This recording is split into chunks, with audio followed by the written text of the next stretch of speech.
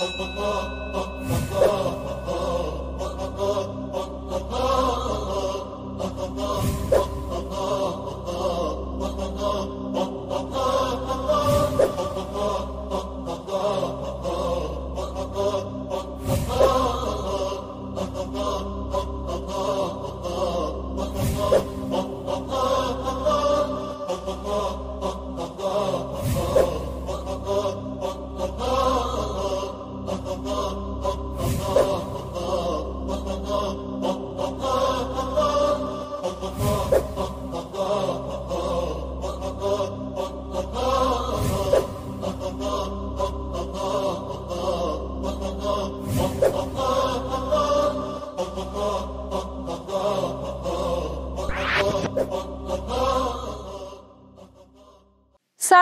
خدمت شما شاگردان مکتب هادی به برنامه آموزشی خودتان درس کیمیا خوش آمدید. امروز فصل چهارم از کیمیای صنف هشتم با آخر رسید. می خواهیم سوال های آخر فصل چهارم را با هم یک جای حل کنیم. قبل از اینکه سوال ها را با هم یک جای کار کنیم خلاصه ای از درس هایی که در این فصل ما شما یاد گرفتیم می خواهیم مرور کنیم.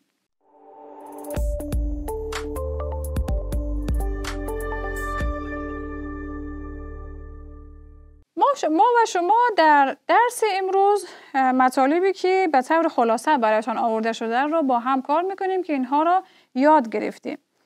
در این فصل ما و شما با تعاملات کیمیاوی آشنا شدیم. گفتیم تعامل کیمیاوی به عملیه گفته می شود که در آن یک ماده یا چندین ماده با هم تعامل می کند و یک ماده یا چندین ماده جدید با خواص جدید را تولید می کند.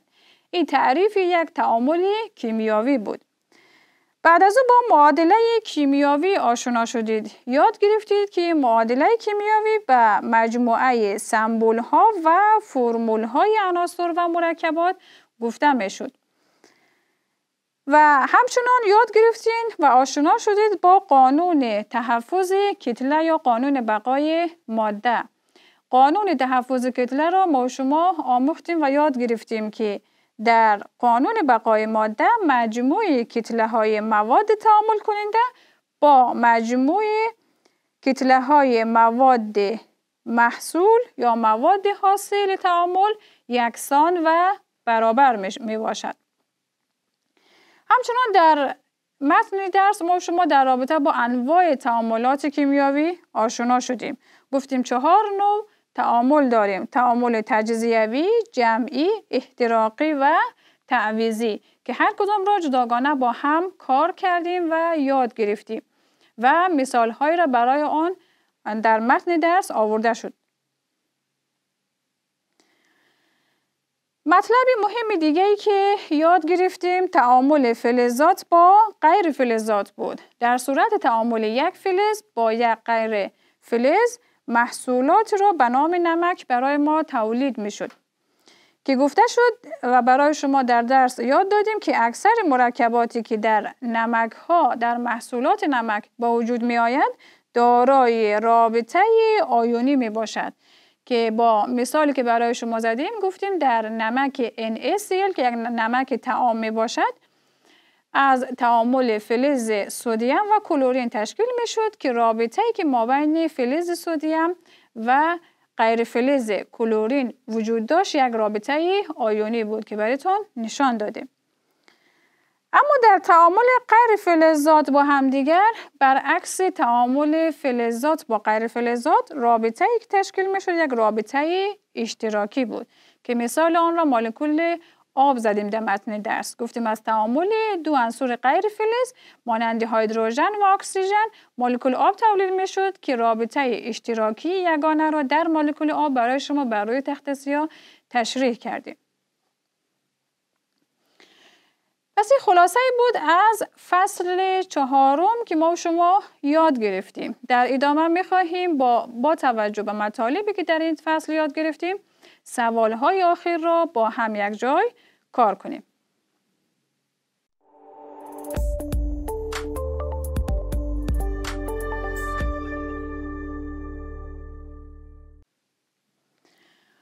سوال های آخر فصل دارای چندین بخش است که بخش اول آن را با هم می‌خوانیم و کار می‌کنیم.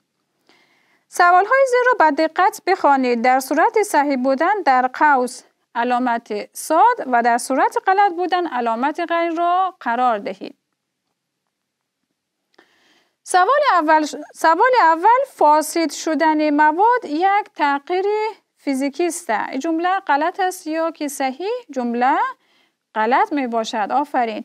فاسد شدن را ما در متن درس یاد گرفتیم. فاسد شدن یک غذا یا یک میوجات یک تعامل چی است؟ کیمیاوی هست. چرا؟ چون ماهیت ماده تغییر پیدا می کند. تغییر فیزیکی ما با تغییراتی گفتم می شد که حالت ظاهری یک ماده تغییر می کرد. مثل زوب شدن، مثل عملیه تبخیر اما ماهیت آن تغییر پیدا نمی کرد. پس داخل قوس حرف غین رو نوشته می کنید و جمله صحیح آن می شود فاسد شدن مواد یک تغییر کیمیاوی است. سوال دوم ماده بر اثر تعامل نه از بین می رود و نه کتله آن اضافه می شود. این جمله کاملا درست است. این جمله بیانگر تعریف تحفظ کتله است در تعاملات کیمیاوی. پس داخل قوس حرف صاد را نوشته می کنید. سوال سوم بر اساس قانون تحفظ کتله باید دو طرف معادله با هم مساوی باشد. این جمله هم صحیح است. چرا که در قانون تحفظ کتله ما شما یاد گرفتیم که دو طرف معادله مواد تعامل کننده و مواد محصول باید تعداد اتم ها و همچنین مجموع کتله های آنها با هم مساوی و یکسان باشد. پس داخل قوس حرف صاد را قرار می دهید. سوال چهارم مجموع سمبول های عناصر شامل یک مرکب به نام معادله کیمیاوی یاد می شود. دقت کنید گفتم مجموع سمبول ها شما در متن درس معادله کیمیاوی را یاد گرفتین. گفتیم معادله کیمیاوی تشکیل شده است از مجموع سمبول ها و فرمول های کیمیاوی. چون در جمله گفته شده مجموع سمبول ها فقط به نام معادله کیمیاوی یاد می شود پس جمله کاملا درست و صحیح نیست. اگر گفته می شد مجموع سمبول ها و فرمول ها به نام معادله کیمیاوی یاد می شود صحیح بود. اما مجموع سمبول ها به تنهایی نشان دهنده فرمول های کیمیاوی است. پس داخل قوس حرف غین را نوشته می کنید شکل صحیح آن می شود مجموع سمبول های عناصر شامل یک مرکب به نام فرمول های کیمیاوی یاد می شود. خب سوال پنجم زنگ زدن آهن نوع تعامل کیمیاوی است. خب زنگ زدن آهن آهن را که ما شما در متن درس هم معادله آن را با هم کار کردیم یک معادله بسیار مهم است گفته شد که یک تعامل کیمیاوی است چرا چون ماهیت ماده تغییر پیدا می کند. پس داخل قوس حرف صاد را نوشته می کنید. سوال ششم رنگ کردن سطح فلزات از زنگ زدن آنها جلوگیری می کند. جمله کاملا درست می باشد. حرف صاد را نوشته می کنید. ما در متن درس یاد گرفتیم که برای جلوگیری از زنگ زدن فلزات دو روش را انجام می دادیم.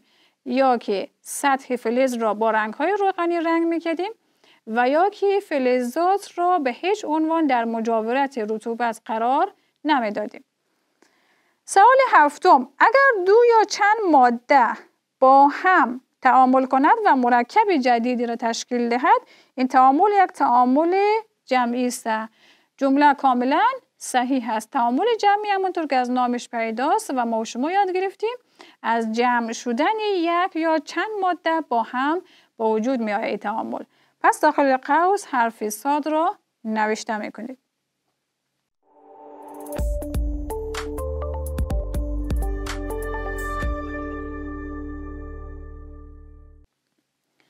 رسیدیم به بخش دوم سوالات که گفته شده است به سوالهای زیر چند جواب داده شده است به دور جواب صحیح دایره بکشید.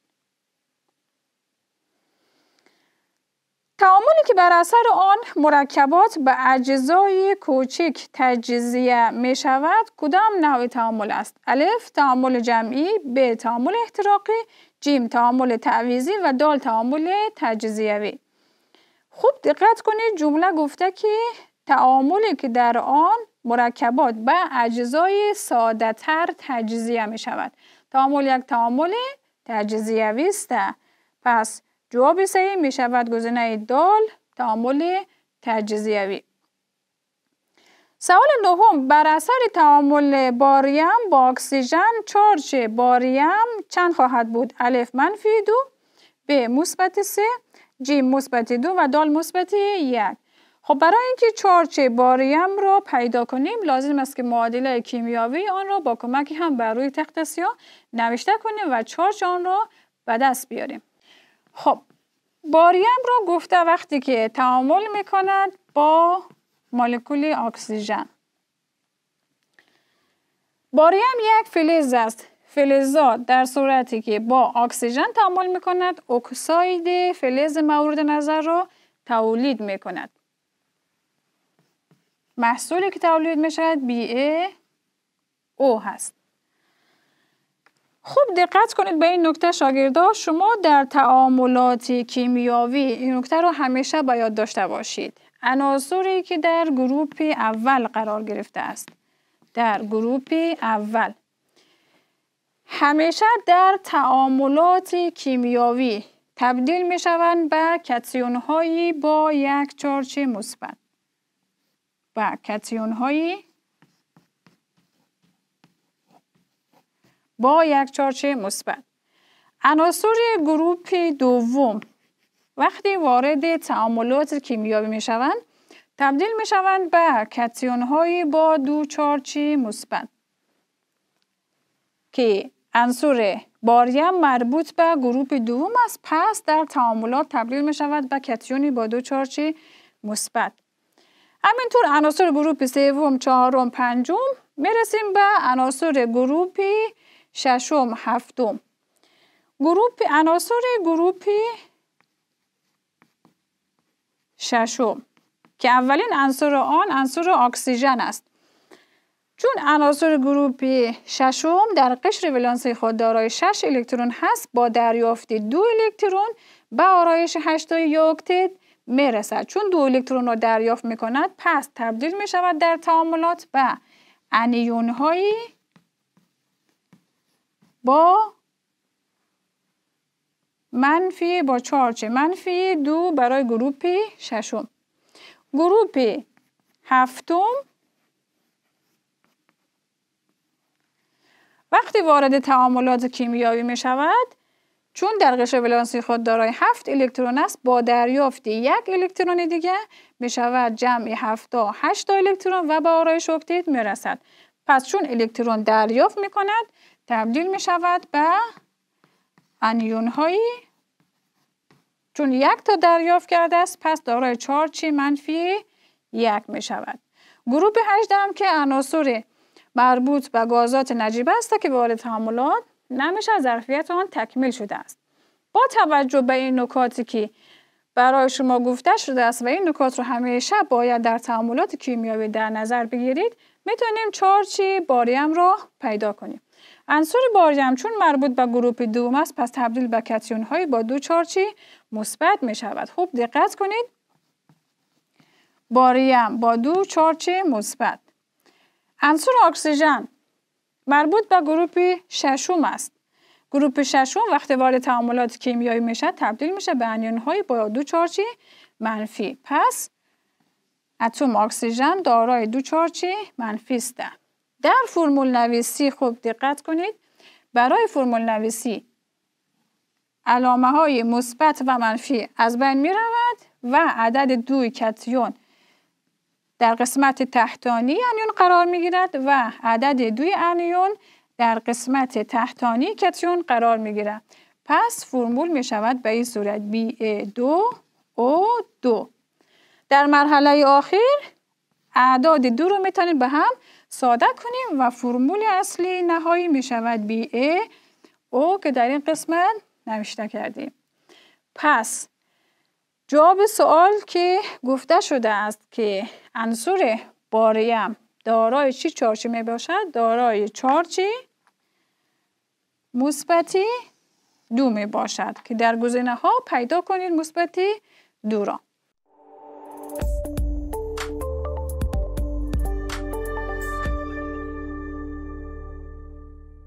پس جواب صحیح مثبت دو در گزینه جیم قرار گرفته هست پس جواب صحیح میشه گزینه جیم مثبت دو.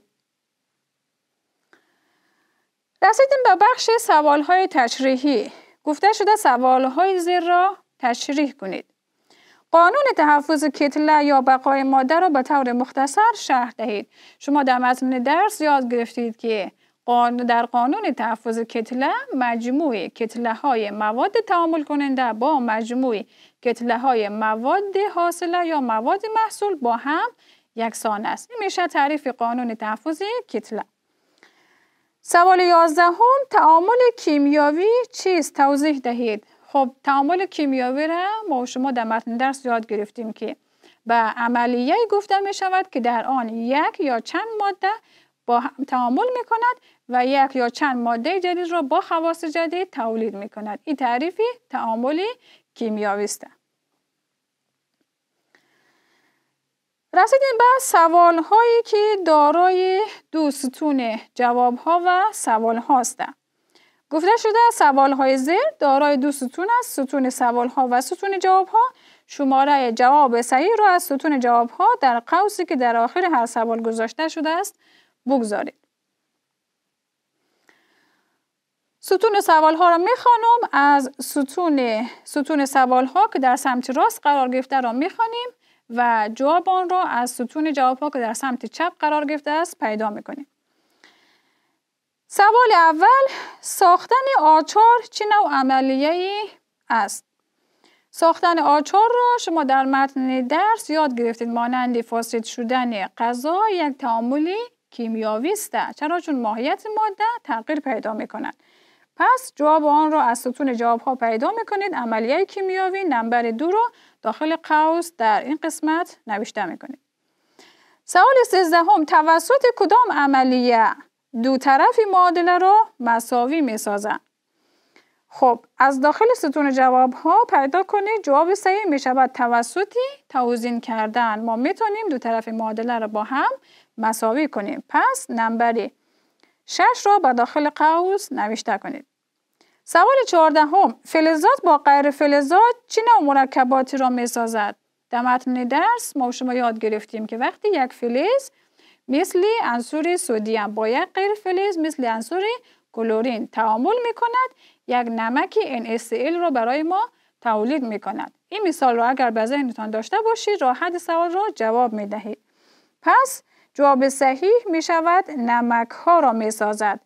نمبر پنج را به داخل قوس نوشته می کنید. سوال پانزدهم بر اثر سوختن مگنزیم کدام مرکبات تشکیل می شود؟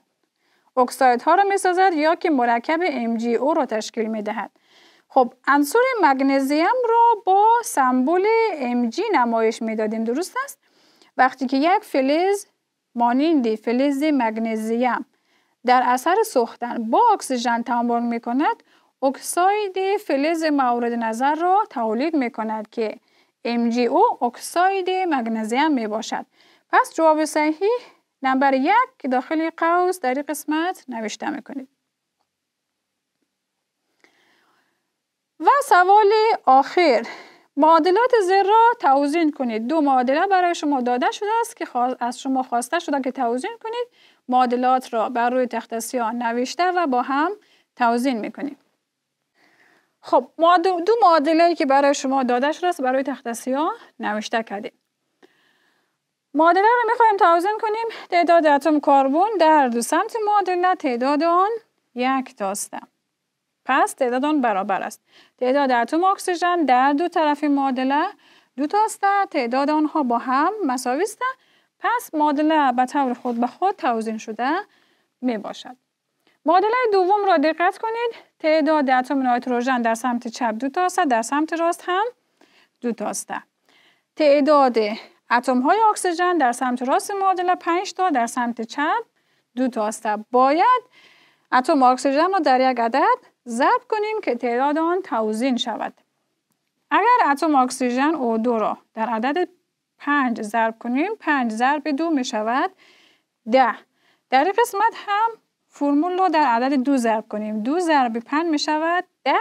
تعداد اتم های اکسیژن با هم توزین می شود اما تعداد اتم های نایتروژن در سمت راست معادله دو ضرب دو شده چهار تا. پس در این قسمت هم یک ضرب دو قرار میتیم که دو ضرب دو شود چهار تا تعداد اتم های نایتروژن در دو سمت معادله با هم مساوی شود و به این صورت معادله توزین شود. خب شاگردای عزیز درس امروز ما به اتمام رسید. امیدوارم که درس امروز خوب یاد گرفته باشید شما را به خداوند بزرگ می سپارم خداوند یار و نگهدار شما عزیزان باشد.